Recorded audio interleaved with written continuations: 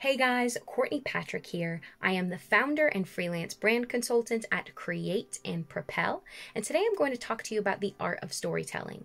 Now, this is so near and dear to my heart, and it's my absolute favorite thing to talk about with new clients because it could not be more important in today's environment. And I'm not just talking about COVID 19, even before then, we are operating in a completely new world. We have completely transitioned from the importance of bricks and mortar order to having that online presence and online space. And yes, even though there is a place for traditional forms of marketing, really what this work from home time and lockdown time has taught us is the importance of engaging with people online. But the more people that are online, the harder it is for you to stand out. And that is where storytelling plays an incredibly important role. So, I want to start off by talking to you about a few statistics that are so important for us to get some gravitas to what we're going to talk about. Now, there is a study that was done by an organization, and it's called the Meaningful Brands Study, which you can Google. And what this organization found is that people would not care if 77% of global brands would disappear. And in the UK, that is even more at 94%. And of course, I operate from the UK, so that's going to be a super important statistic to my clients. Now, what that study also found is that people think that 60% of the content that the top 1500 global brands push out is clutter. And if we talk about that in even simpler terms, guys, right now, 77% of businesses could go bust, and that's probably a very scary statistic in a COVID 19 world, and no one would even blink an eye. And that also means that probably 60% of your content is crap, if we just speak very, very simply here which breaks my heart because being a marketeer and working with lots of different businesses, I can't tell you the amount of times that I have stayed late to push out a customer letter or published a monthly content calendar. And it's probably been part of that clutter group.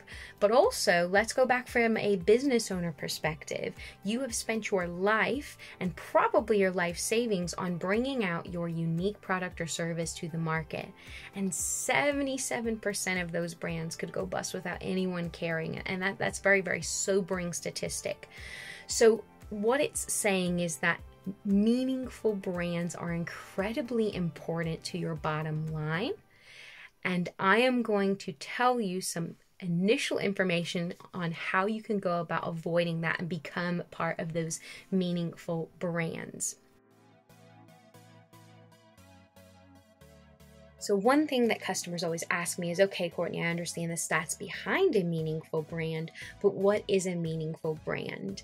And really, if we put it simply, meaningful brands are the ones that make us stop and smell the roses. They're the ones that we constantly think about, we get excited about engaging with, we get excited to share about with our friends and our family and our colleagues.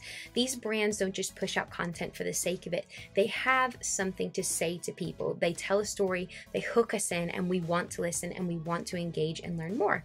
We want to be part of their, using a common word, their tribe, which is what a lot of brands try to seek for today. There's actually a lot of science behind what goes into a meaningful brand. So if you think that marketeers do not spend a lot of time on learning this science, then you are incredibly wrong. And I want to bring that to your attention today because, again, it's, it's about making sure that you understand the importance of this. So, as human beings, we are driven by stories. It's part of our genetic makeup. And what I was reading is a Forbes article that brought attention to a Harvard Business Review study that found that character driven narratives increase the level of oxytocin in our brain. Now, if you're not a scientist or you don't know anything about the chemicals in our brains that make that up, what oxytocin is responsible for is triggering empathy and it makes us want to cooperate with others. So if you go into a big room full of people and you immediately try to find that one person or that group that you can speak to, that's when oxytocin oxytocin is present. But from a brand perspective, when you tell a story that drives people, it starts to form a connection. This person wants to cooperate with you, so you're hooking them in. Now, there is another piece of science which is so important. I am going to urge you all to go and search on YouTube for Simon Sinek Golden Circle, which of course comes from his book Start with Why. And the reason why I really like Simon's example is because he breaks down the science of our brain in a very simple way. So, what he says is there's two parts of how we make a decision in our brain. The first part is done in the neocortex. Now, that's the analytical part of our brain, the rational part, and it's also associated with language. So, if I say, What's two plus two? I really hope that you would say the answer is four, but whatever your answer might be, right or wrong, it'd be very easy for you to answer that question for me. Now, the other part of our brain is the limbic part of our brain, and that actually drives human behavior and decision making. And this is about trust and creating an emotional attachment to the things that we buy and engage with. So, here's an example of when you might use that brain. I'll ask you, how or why did you choose your partner? What was it about them that made you go, yep, that's the person I want to spend the rest of my life with or be with for a while? Now, you might be able to drum up an answer for me, but you would not be able to instantly recount like you would that 2 plus 2 equals 4 question. And that's because you made that part with your brain, not with the rational part of your brain, but that limbic part of your brain that was all about that sort of gut feeling that made you choose that person. Because if it was just simply the rational part of our brain that made the decision, we never make one because there's billions of people in the world. There's probably hundreds of millions that have similar physical characteristics or personality traits to that person, and you'd be constantly getting more information that would make you never be able to make a rational decision. It's irrational. That's why we can't put language to it. And that is the part of our brain that actually makes the decision for us. It's that neocortex that rationalizes that decision and makes it actually happen and triggers that. So, the importance of this is saying that meaningful brands write stories and those stories trigger inside out decisions. So, how do you actually go about doing that through your storytelling? Well, if we bring it back to that Simon Sinek Golden Circle, which again you should YouTube or pick up this book right here, Start with Why, had that upside down. Uh, and it breaks this down in a lot more science. I'm giving you obviously just the top level here. So there's a what, a how, and a why and how we tell a story. So the what and how are very simple. It's the what you sell and the how you do it. So maybe you sell hot dogs. The what is the hot dog. The how might be that you have a machine that, that pumps out a hot dog in, in 15 seconds or whatever that might be. Now, let's look at it from your competitor set. Anybody can steal those two things from you, and they are. If they're not doing it now, they eventually will do. That's why patents run out. People can eventually take those things from you. Now, if we bring it back to our storytelling and being a meaningful brand, uh, I always say that the what and the how are how people marketed in the 1950s. So a fishmonger would say, I'm selling fish and it's this cost, and that might drive people into the store. But now there's clutter, there's information overload. So how do we actually go about attracting and connecting with these people? And that is through your why the why you exist, that underlying purpose that's driving your business forward. The question that I always ask your customers if if everyone was out there selling hot dogs, then why did you need to create one? What was your purpose for getting out of bed in the morning? And that is going to create that connection, that triggers that limbic part of the brain that gets people to trust your brand and to want to engage with you. That is the meat of your story. Of course, you need to say what you're doing and how you do it because it's important. That's context to that decision. But if you really want to bring customers in and you really want to trigger that loyalty, this is how you go about telling an impactful story. So, let me give you a very, very simple example because, of course, in that book it talks about your Starbucks, your Apple, all of those brands that people love to talk about the stories. And, and yes, these global corporations will really hit home on why you need to have this. But a lot of you that will be watching this are likely to be a small business, maybe even a micro SME. So it could just even be a sole trader that's looking at this and understanding how do I actually go about connecting with my customers. So let me give you an example that may feel a little more real. So let's say you sell scarves or insert your product or service there and you see that actually it's really popular with the kids these days to go to a blogger to push your product out. Uh, so you go to this blogger, you negotiate a fee which you think is pretty extortionate in comparison to maybe publishing on that bulletin like you used to, and you give them the how and the what. You say, I sell scarves, they are 100% cotton, they're in blue, pink, and yellow, they're at 10 pound a pop, and they're designed in the Cotswolds, but they're produced in China.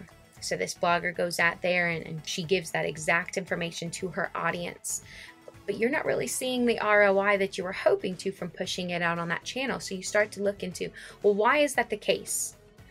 Well, technically, what that's probably going to do is make somebody go, oh, you know what? I, I was actually looking for a scarf. So now I'm going to go on eBay or Amazon and look up scarves that are red, yellow, pink, blue, that are designed in the Cotswolds but made in China. And that will bring me probably thousands of different options for me to choose from. It's probably going to be a lower cost than yours.